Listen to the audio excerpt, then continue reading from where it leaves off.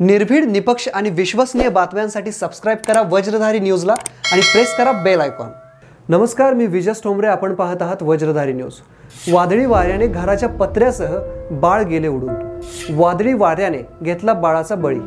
सांगली जिल्ह्यातल्या तासगाव तालुक्यातील मतकुणकी येथे आलेल्या वादळी वाऱ्याने घराच्या पत्र्यासह बाळ उडून गेले.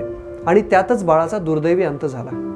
काल आलेल्या वादळी वाऱ्याने बाळाचा बळी घेतला.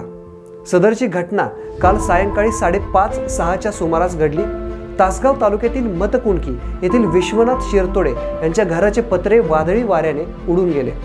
घराच्या आडीला पाळणा बांधला होता आणि त्या पाळण्यात त्यांचा मुलगा संजय शिरतोडे यांचे चार महिन्याचे बाळ झोपले होते.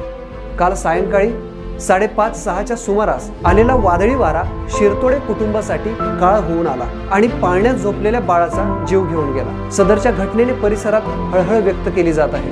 निर्भीड आणि निपक्ष बातम्यांसाठी पाहत रहा वज्रधारी न्यूज. धन्यवाद. शुभ कार्याला अविस्मरणीय करणारे आणि नात्यातला जिव्हाळा जपणारे जय मातादी मंगल कार्यालय.